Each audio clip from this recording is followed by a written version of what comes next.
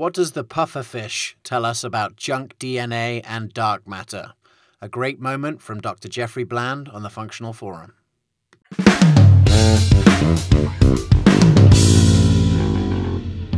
Basically, the human genome in its entirety is huge compared to any other genome.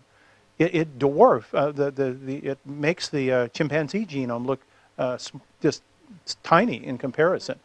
And so all this other stuff that's in there, all this other DNA that's in there, has been a question mark for some time. People knew it was in there, but because it didn't code for protein through normal mRNA transcription, people said, well, okay, what are we going to call it? Let's just call it junk because it must be remnants. There's a lot of repeating units in there and a lot of, of redundancy, and so it must be stuff that's not that important. So we're just going to call it junk.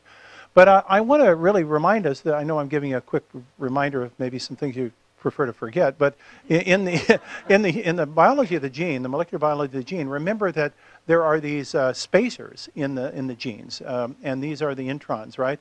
And those have to be pulled out in, in the splicing to get rise to give rise into the, uh, the genome that's going to do the or the portion of the gene that's going to do the coding for the protein. So we assumed for a long time that these uh, these green spots in there were uh, kind of like just who knows what. They were like insulators or something, and they, they weren't providing any function. Now, uh, as I'll go through, we recognize that they code for all sorts of information pertaining to the regulation of how genes are expressed as families. And we don't express genes one at a time. You know, uh, you, you, you have these, these families, and that's what really differentiates humans from others, is the complexity of how you uh, assemble and express these in, in groups. So if I asked a simple question, a kind of a um, uh, statistical question, how many permutations and combinations could you have of 22,000 genes take multiple at a time? Haha. -ha. Now we get into an infinite number virtually of, of possibilities, right? And so that's the diversity of the human species. The more way they can be assembled intelligently, the more diversity and control and fine structure you have.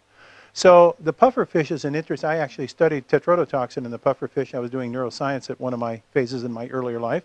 And um, it turns out the pufferfish genome is kind of interesting because it has 98% of its DNA, it codes for protein. All, and so it's very efficient, but it doesn't have much executive centers of what used to be called junk DNA. So exactly the reverse of the human genome that's only 2% coding and 98% other stuff.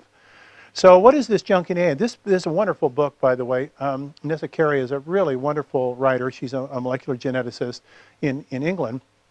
And so she talks about the fact that this junk DNA can, contains within it the promoter regions of genes, the long sequence uh, uh, non-coding RNAs, uh, telomeres, which we're going to talk about in a moment, uh, short inhibitory RNAs, and microRNAs. So they're all coded for out of the non-protein coding portion of what used to be called junk DNA. Okay?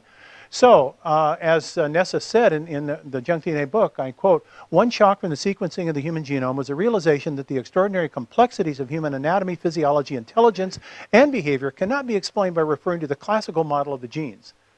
Wow, that's a pretty compelling statement, isn't it, when we think of all the time we spent putting this stuff to memory thinking that we had answers that we could reproduce on demand and that would be of value. Now we're saying, well, maybe it's only of limited value, that we need to be looking farther down the story. And so you look at the ENCODE project. I don't know how many of you have followed this, but the ENCODE project is very fascinating because it started looking at the full complex of information encoded in the genes, not just the coding portion for protein. And they, uh, the first published paper out of the ENCODE project uh, was in 19 uh, was in 2007, excuse me, in which they um, were able to do a complete uh, decoding of only 2% of the human genome. But in that 2%, they found all these regions that, of non-coding uh, portions of the genome that had functional characteristics, right?